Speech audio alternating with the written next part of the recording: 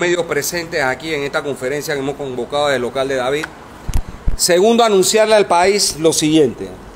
Suntran, su directiva y sus miembros juramos vencer junto a ustedes en octubre y noviembre del año pasado a First Quantum, al contrato Vende Patria, a todos los partidos tradicionales que apoyaron eso, a la Cámara de Comercio, al CONEP, a la PEDE, a toda la mafiocracia junta la enfrentamos para derrotar el contrato minero.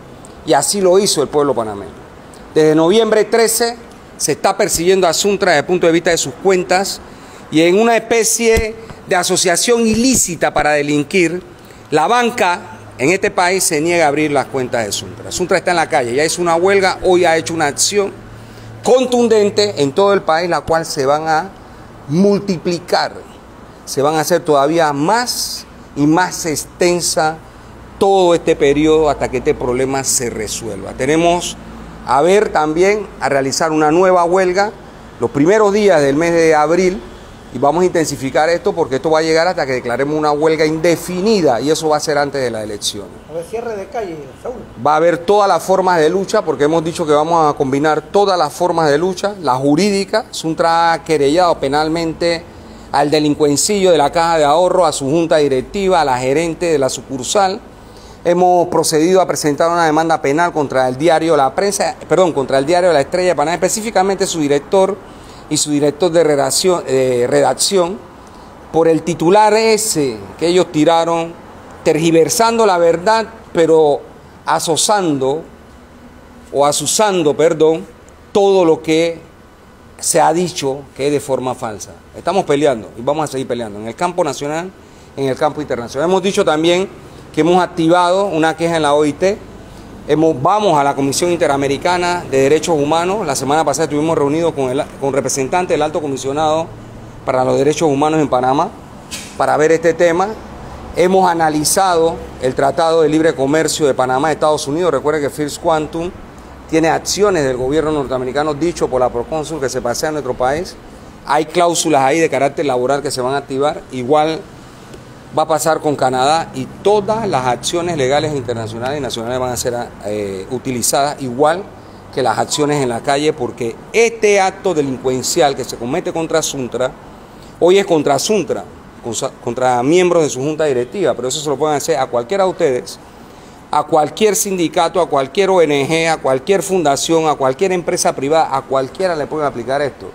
Porque ¿de qué se trata? Se trata de que se está utilizando el sistema bancario este que lava dinero de Odebrecht, de Blue Apple, de Financial Pacific, del narcotráfico y de otros actos delincuenciales, este mismo sistema, el que tenemos nosotros, bancario corrupto, pues se han coalicionado para tratar de arrinconarlo. Pues no nos van a derrotar. Nosotros estamos seguros que los vamos a vencer y van a tener que abrir cuentas porque el acto burdo es desenmascarado, como en efecto lo estamos haciendo, porque aquí no hay nada que indique que Suntra ha cometido ningún tipo de ilícito.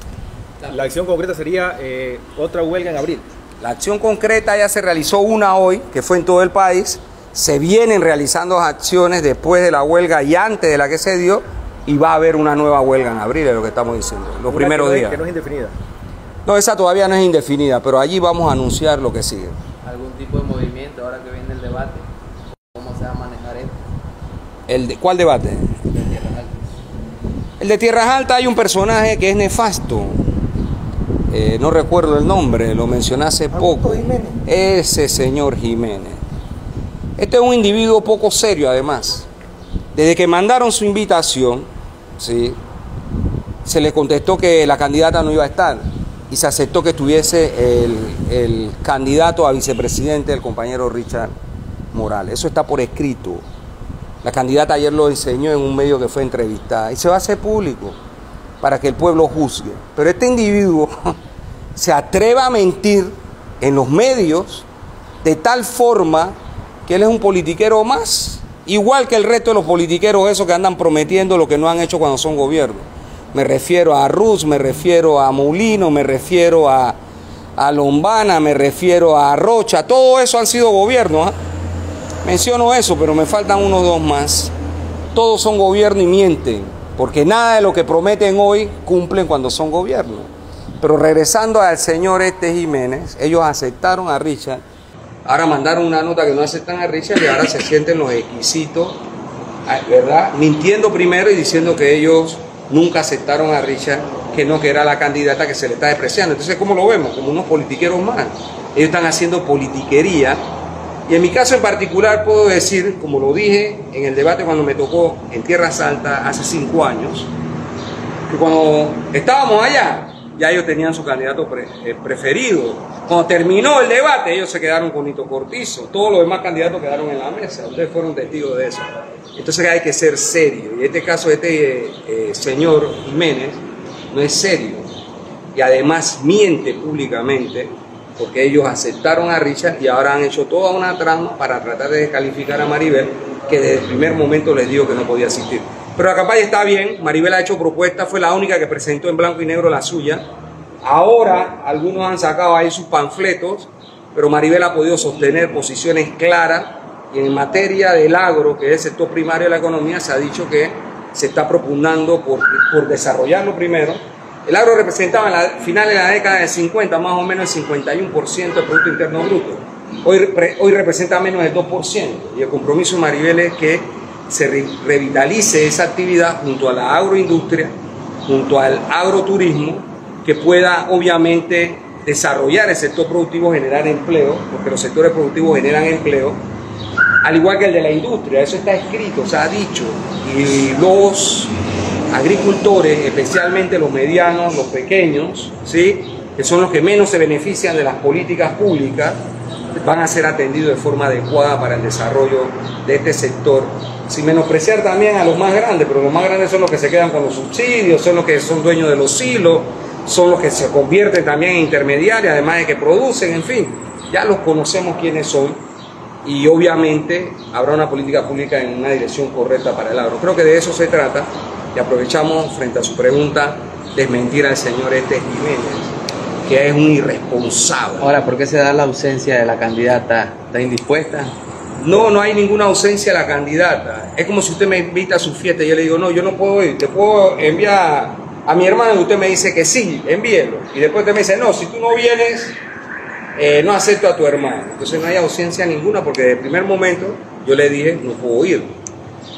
La candidata ha dicho públicamente que tiene una agenda, que se comprometió a estar en otros lugares ese día, porque desde el primer momento, no ahora, desde el primer momento, como ya había un compromiso previo adquirido, se les dijo que no se podía, que si aceptaba. Si ellos hubieran dicho desde el primer momento, no aceptamos a Richard, bueno, bien. Pero dijeron si aceptamos, ahora dice que no aceptan. Es decir, son vida y cambia. Señor Saúl, en torno a lo que propone Gaby Carrizo, usted que maneja bien los números de la construcción y los trabajadores en cuanto a empleo, que lleva en sus libros cuántos empleadores puede ver al año en construcciones, en todo, y ese salario de mil dólares, ¿cuál es su consideración de esta propuesta, señor Gaby Carrizo, que está en gobierno? Ustedes saben que las matemáticas de ese señor no son muy buenas, ¿no? Ya ustedes lo vieron públicamente multiplicando. Eh, en realidad, aquí trabaja hasta los todo... jueves, ¿Cuál? hasta los jueves nada más se trabaja. hasta los pueblos.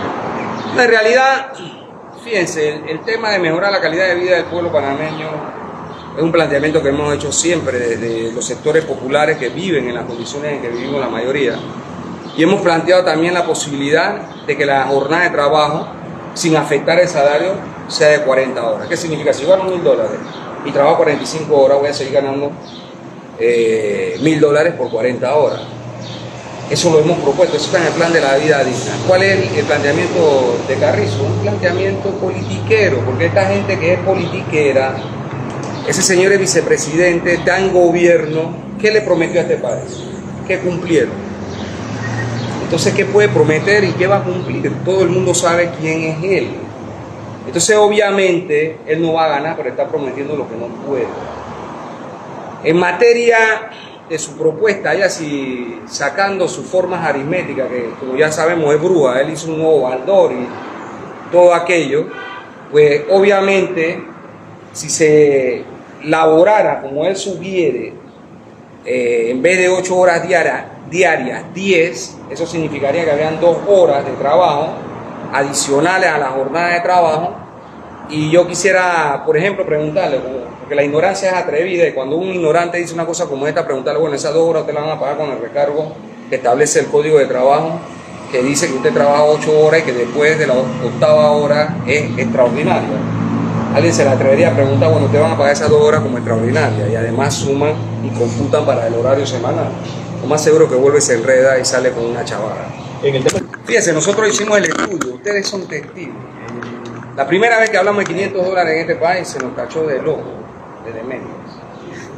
Y era más de 500 dólares. Hicimos la propuesta nosotros de Conusio, el movimiento obrero.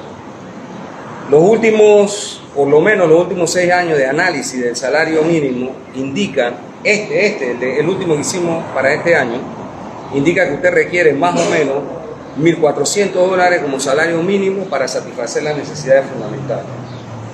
¿Sí? Es decir, aquí se paga salarios de hambre un alto costo de la vida, como todos nos contan, ¿no? Le contan a ustedes que son trabajadores, todos, al igual que el resto de la sociedad. O sea que hay que apuntar a que los salarios, en realidad ya la propuesta que hemos hecho desde CONUSI en materia de salario mínimo, es que el salario mínimo se tase para satisfacer las necesidades fundamentales de una familia. ¿Qué son las necesidades fundamentales? Alimento, vestido, educación, salud, vivienda, agua potable, ¿sí? Eh, los problemas que tienen que ver con transporte, en fin, todo lo que involucra para una familia una situación como esta. Pero eso no, pasa en Panamá. Entonces un señor como eh, Carrizo, que estaba en el gabinete, porque él estaba en el gabinete como ministro de la presidencia, además de vicepresidente, las dos veces que dieron supuestos ajustes del salario mínimo que fueron. Basura. Ahora se sale que mil dólares. ¿Quién le cree? El problema aquí es de credibilidad.